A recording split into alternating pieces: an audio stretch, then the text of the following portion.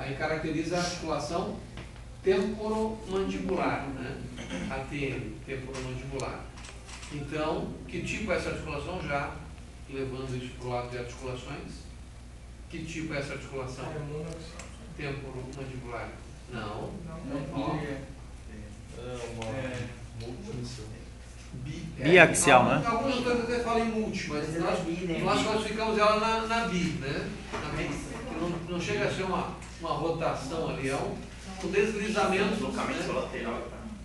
São deslizamentos com eh, a mastigação, né? Quer dizer, a elevação e depressão do, do movimento. A articulação da mandíbula então é biaxial. Biaxial. Biaxial. Biaxial condilar, nós classificamos, né? E aí, tem deslizamentos laterais.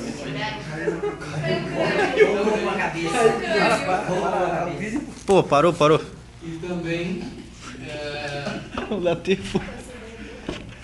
também Caiu a cabeça. Como é que chama o movimento para frente, para trás? Extensão e. Flexão e- mandíbula, como é que chama lá, Lucas? Oi? Como é que chama esse movimento? Flexão e. Para frente e para trás? Só chega mais perto aqui, ó. Flexão e extensão, não é? Oi? Flexão e extensão?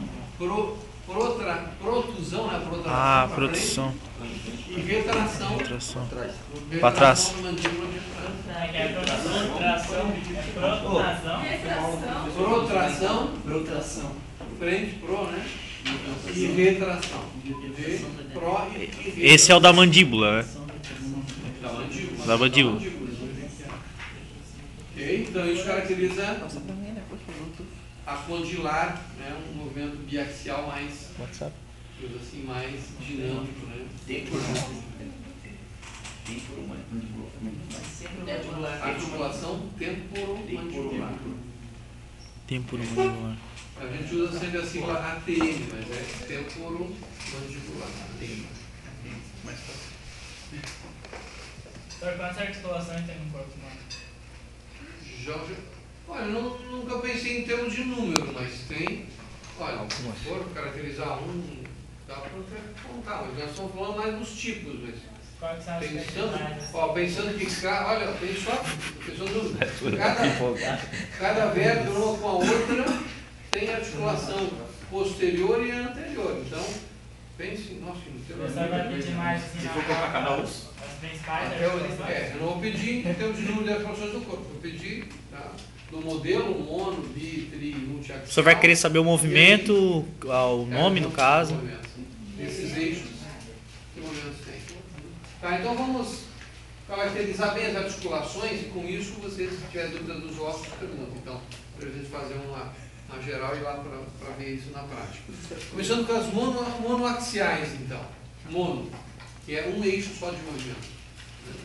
Então aí nós simplificamos com, primeiramente, as interfalantes, mas aí lembrando que as monoaxiais têm duas subclassificações, né? As gínglimo, gínglimo ou dobradiça e Trocoide ou pivotada. trocoide pivotada, ótimo, isso mesmo. Então, e aí, na gínglimo, que exemplos temos? A interfalange, Interfalângicas, isso, a tíbio femoral, tíbio femoral, joelho, né? úmero lunar. Femoral, isso, número Lunar. expansão do. Está tudo anotado aí, gente? É classificação Essas são as monos. das monoaxiais gínglimo, né? Gínglimo.